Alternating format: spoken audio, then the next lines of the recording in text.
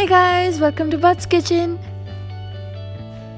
And today we'll be making 7 cup burfi. It's called 7 cup burfi because we make it using only 7 cup of ingredients. So let's begin.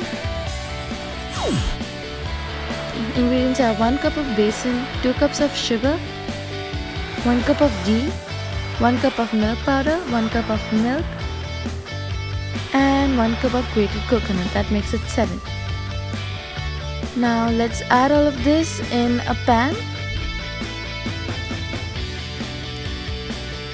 and mix it in on a medium flame.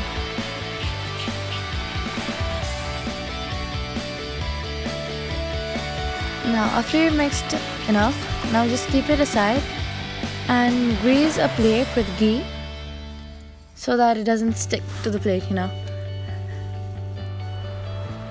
And now you've you can see that the mixture slowly is starting to get stickier. And now when it once it gets like this then pour the mixture into the grease plate.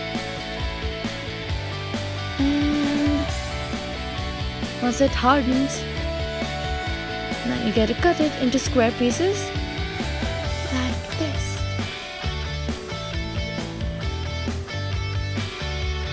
This should look like a grid and you can take it, eat it. Wow, this looks amazing.